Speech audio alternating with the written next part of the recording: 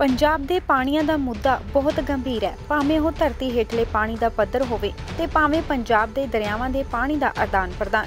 ਪੰਜਾਬ ਦੀਆਂ ਰਾਜਨੀਤਿਕ ਪਾਰਟੀਆਂ ਵੱਲੋਂ ਇਸ ਮੁੱਦੇ ਤੇ ਵੱਡੇ ਪੱਧਰ ਦੀ ਰਾਜਨੀਤੀ ਵੀ ਕੀਤੀ ਜਾ ਰਹੀ ਹੈ ਅਤੇ ਇਸ ਦਾ ਵਿਰੋਧ ਵੀ ਕੀਤਾ ਜਾ ਰਿਹਾ ਹੈ। ਪੰਜਾਬ ਦੀ ਵਿਰੋਧੀ ਪਾਰਟੀਆਂ ਵੱਲੋਂ ਅੰਦੋਲਨ ਸ਼ੁਰੂ ਕੀਤੇ ਗਏ ਨੇ, ਜਿੱਥੇ ਆਮ ਆਦਮੀ ਪਾਰਟੀ ਵੱਲੋਂ ਬਿਜਲੀ ਅੰਦੋਲਨ ਸ਼ੁਰੂ ਕੀਤਾ ਗਿਆ। ਉੱਥੇ ਲੋਕ ਇਨਸਾਫ ਪਾਰਟੀ ਵੱਲੋਂ ਵੀ ਸਾਡਾ ਪਾਣੀ, ਸਾਡਾ ਹੱਕ ਅੰਦੋਲਨ ਚਲਾਇਆ ਜਾ ਰਿਹਾ। ਜਿਸ ਦੇ ਅੰਤਰਗਤ ਲੋਕ ਇਨਸਾਫ ਪਾਰਟੀ ਦੇ ਪ੍ਰਧਾਨ ਸਿਮਰਜੀਤ ਸਿੰਘ ਵੈਂਸ ਫਰੀਦਕੋਟ ਪਹੁੰਚੇ ਤੇ ਪਾਰਟੀ ਵਰਕਰਾਂ ਨਾਲ ਮੀਟਿੰਗ ਕੀਤੀ। ਪਾਣੀ ਦੇ ਮੁੱਦੇ ਤੇ ਗੱਲ ਕਰਦਿਆਂ ਸਿਮਰਜੀਤ ਸਿੰਘ ਬੈਂਸ ਨੇ ਕਿਹਾ ਕਿ ਕੁਦਰਤ ਨੇ ਜਿਸ ਸੂਬੇ ਨੂੰ ਜਿਹੜੀ ਵੀ ਦਾਤ ਦਿੱਤੀ ਹੈ, ਉਹ ਗਵਾਂਢੀ ਸੂਬਿਆਂ ਨੂੰ ਕਦੇ ਵੀ ਮੁਫਤ ਨਹੀਂ ਦਿੰਦੇ। ਇਕੱਲਾ ਪੰਜਾਬ ਹੀ ਹੈ ਜੋ ਦਰਿਆਵੀ ਪਾਣੀਆਂ ਦੇ ਗੱਫੇ ਗਵਾਂਢੀ ਸੂਬਿਆਂ ਨੂੰ ਮੁਫਤ ਵੰਡ ਰਿਹਾ ਹੈ। ਧਰਤੀ ਹੇਠਲੇ ਨੀਚਲੇ ਪਾਣੀ ਦਾ ਪੱਧਰ ਵੀ ਘਟ ਰਿਹਾ ਹੈ, ਜਿਸ ਕਰਕੇ ਪਾਰਟੀ ਵੱਲੋਂ ਸਾਡਾ ਪਾਣੀ ਸਾਡਾ ਹੱਕ ਅੰਦੋਲਨ ਚਲਾਇਆ ਜਾ ਰਿਹਾ ਹੈ। ਜਿਸ ਦੇ ਤਹਿਤ 2 ਮਹੀਨੇ 'ਚ 21 ਲੱਖ ਦੇ ਲੋਕਾਂ ਨੇ ਦਸਖਤਾਂ ਵਾਲੀ ਪਟੀਸ਼ਨ ਵਿਧਾਨ ਸਭਾ 'ਚ ਪੇਸ਼ ਕੀਤੀ ਜਾਵੇਗੀ।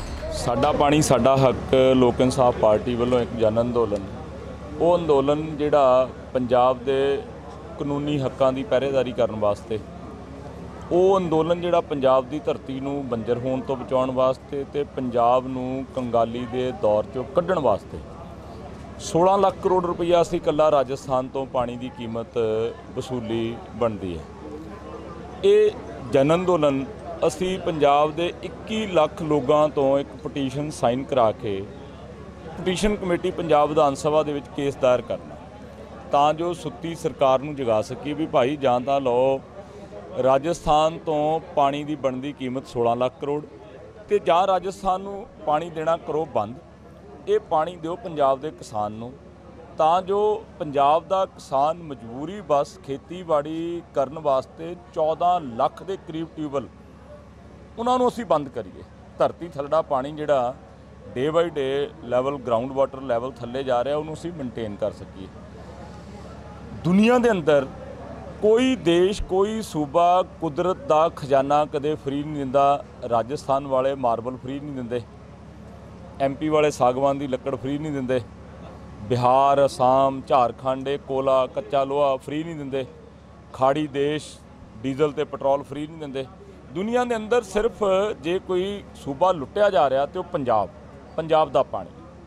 ਸੋ ਅਸੀਂ ਇਸ ਸਾਡਾ ਪਾਣੀ, ਸਾਡਾ ਹੱਕ ਜਨ ਅੰਦੋਲਨ ਨੂੰ ਪੰਜਾਬ ਦੇ ਹਰ ਘਰ ਤੱਕ ਪਹੁੰਚਦਾ ਕਰਾਂਗੇ। ਉਹਦੇ ਵਾਸਤੇ ਅਸੀਂ ਇੱਕ ਬੜਾ ਸਰਲ ਭਾਸ਼ਾ ਦੇ ਵਿੱਚ ਲਿਟਰੇਚਰ ਪ੍ਰਿੰਟ ਕਰਾਇਆ। ਤਾਂ ਨਹਿਰ ਦਿਖਾਈ ਹੈ, ਜਿਹਦੇ ਵਿੱਚ ਕੱਲਾ ਸਾਡਾ ਪਾਣੀ ਨਹੀਂ 16 ਲੱਖ ਕਰੋੜ ਰੁਪਈਆ ਕਰੰਸੀ ਰੁੜੀ ਜਾ ਰਹੀ ਹੈ। ਇਹਦੇ ਵਿੱਚ ਬੜੀ ਸਰਲ ਭਾਸ਼ਾ 'ਚ ਵੀ ਸਾਡਾ ਇਹ ਕਾਨੂੰਨ ਅਧਿਕਾਰ ਕਿਵੇਂ ਹੈ bureau report, vision, Punjab TV. ਦੁਨੀਆ ਭਰ ਦੀ ਤਾਜ਼ਾ ਤਰੀਨ ਖਬਰਾਂ ਅਤੇ ਮਨੋਰੰਜਨ ਭਰਪੂਰ ਪ੍ਰੋਗਰਾਮ ਵੇਖਣ ਲਈ ਸਬਸਕ੍ਰਾਈਬ ਕਰੋ ਸਾਡਾ YouTube ਚੈਨਲ ਤੇ ਦਬਾਓ bell button and also like our Facebook page